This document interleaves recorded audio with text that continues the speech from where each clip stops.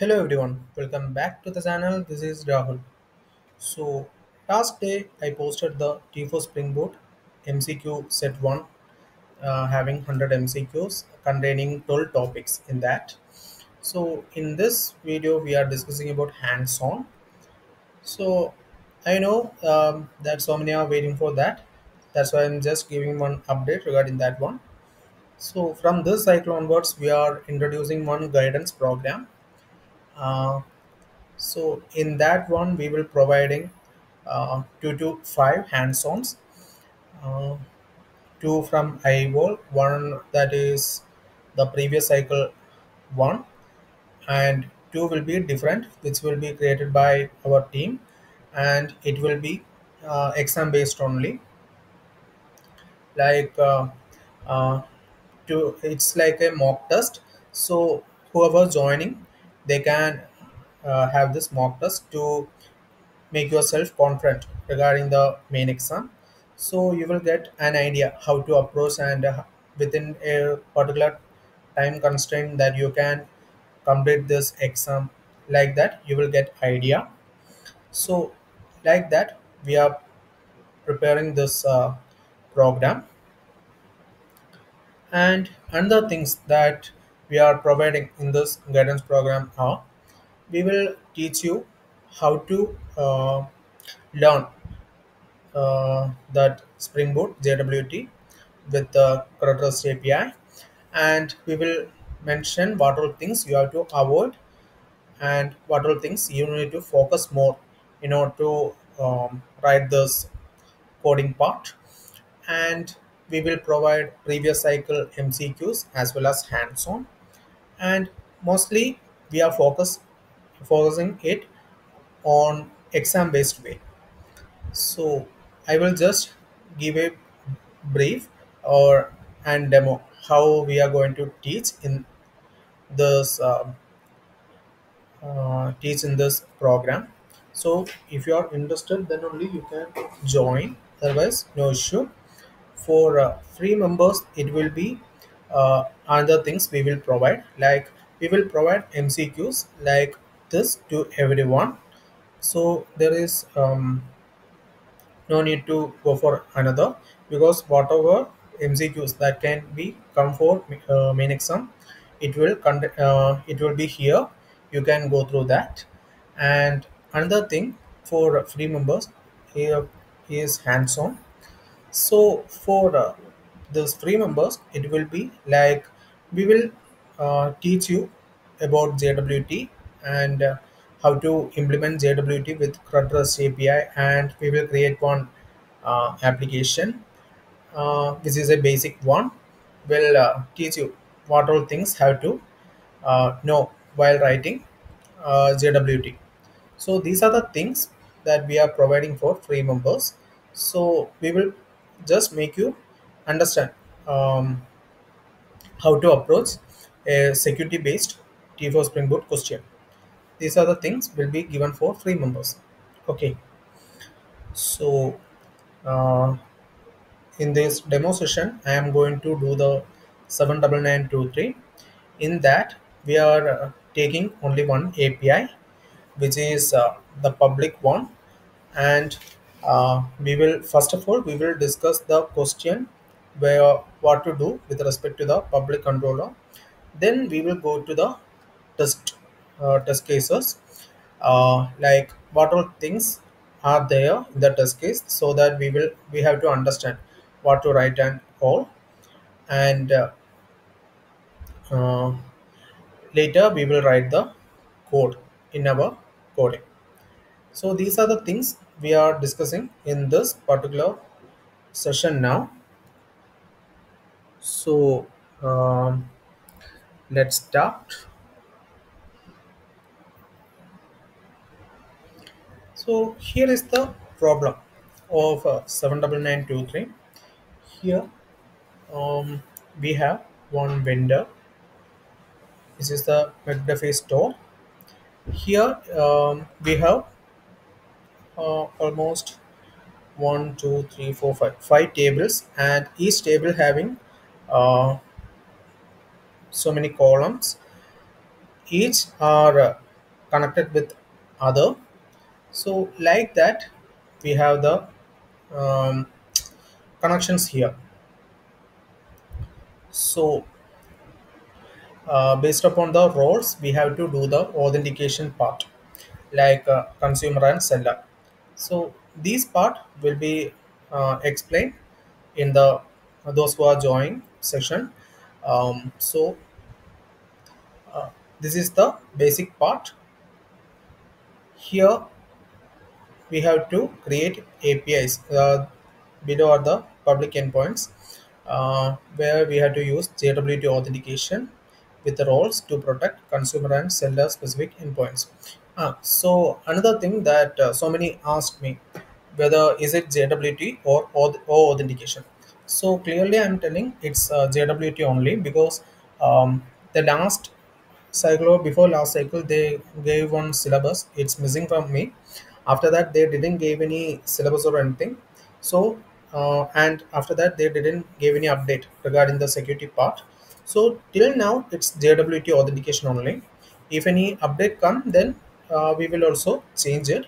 But currently the as per the syllabus it's jwt uh, security that we have to use in this CRUD REST api and we have bearer bearer token in uh, authorization request header so these are the things we have to do in each um, people like the consumers can search at and update and delete items in cart.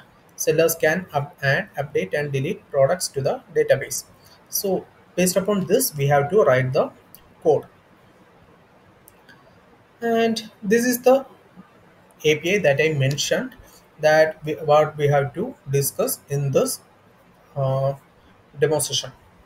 So here in this API, this endpoint will take one parameter, one query parameter, which is keyword, and it have to return whatever products matching the keyword uh, containing product name or category name, and with the status 200. If it is an error or anything else, whatever, if it's a internal error or anything else, we have to return the status 400.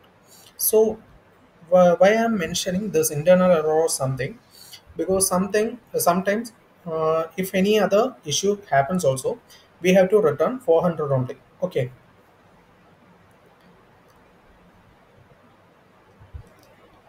so uh, this is the thing.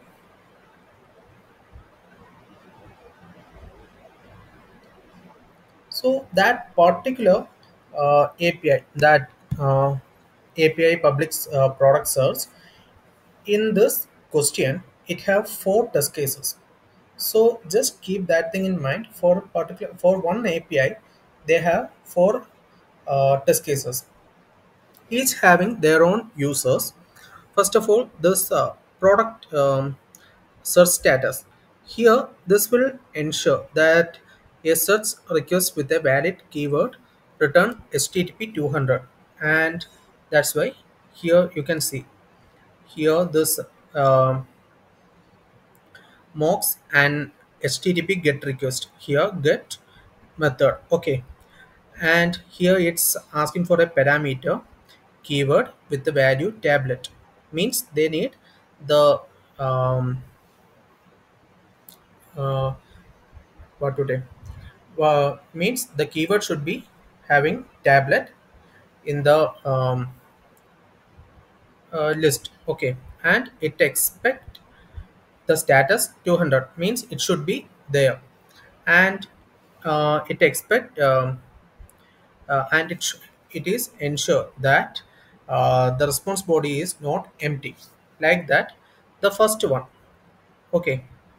This second one product search without keyword.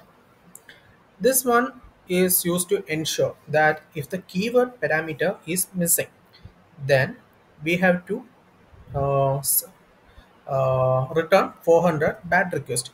That's i told if there is the particular keyword is not there okay we are um, if we are not giving any particular keyword then we have to return 400 okay. Here also we are using get method. That's why in that uh, particular get we have four uh, test cases. Okay. Next product search with product name. In this one this things. Okay here first of all it calls the endpoint here hmm? endpoint with tablet okay as the keyword. And it expect 200 um, as the uh, return and stores the response in sorry result okay. And here this one json array this one converts the response um, uh, json string into a json array that's the only thing here. Later this line mentioning it ensures the response contains at least one product. Okay. Means having this keyword it have to um, ensures that we have uh, at, at least uh, one product here. And here this will iterate through each product in the response. And that's why we are uh, here it's using for loop. And it asserts that each product names contain tablet. And here you can see it changed to lowercase and containing tablet. Okay.